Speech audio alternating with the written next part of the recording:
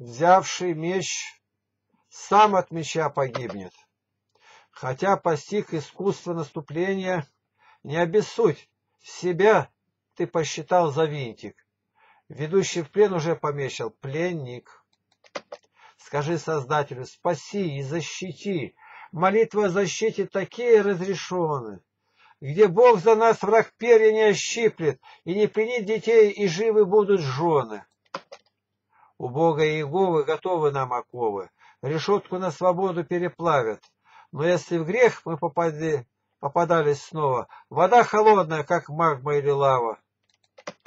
Где ты не зачатый на кровати, и лен не вырос, сшить тебе пеленки. У Бога план, где, кто нас в плен захватит, как волчья стая защитить теленка не оприходовать заранее беду, со всех сторон не закрепить подпорки. Бог программирует и полчища грядут, армады саранчи нам не оставят корки. Неужто Бог не силен стеречь и выполнить обещанной защиты?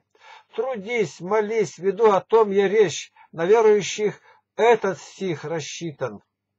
Что Иисус учил в сравнении с древним?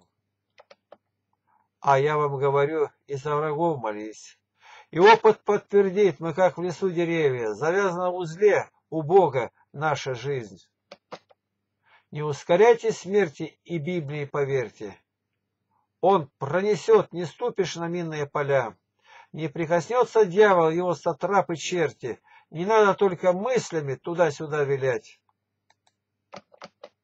Переводи все войны на битву с сатаной, где о врагах и недругах считаем мы в псалтире.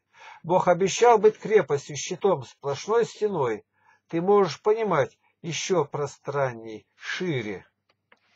1 июля 2004 года.